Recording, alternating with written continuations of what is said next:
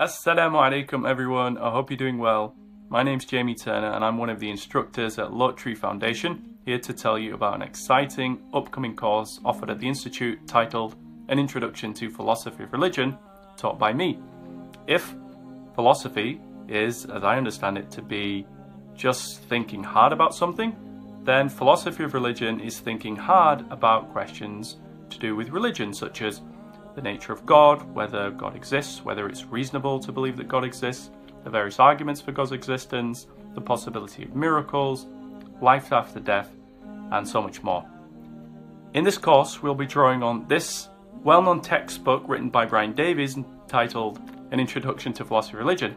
But unlike this textbook, we won't just be restricting ourselves to the tradition of Christianity and thinkers from that tradition, like um, Swinburne, Plantinga, or even Augustine, Anselm, and Aquinas.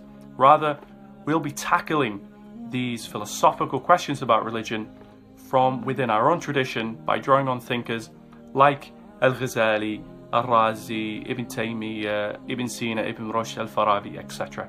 So I hope you'll join me for an exciting and I think a really important course for many uh, and I look forward to seeing you there inshallah. Assalamu alaikum wa rahmatullahi wa barakatuh.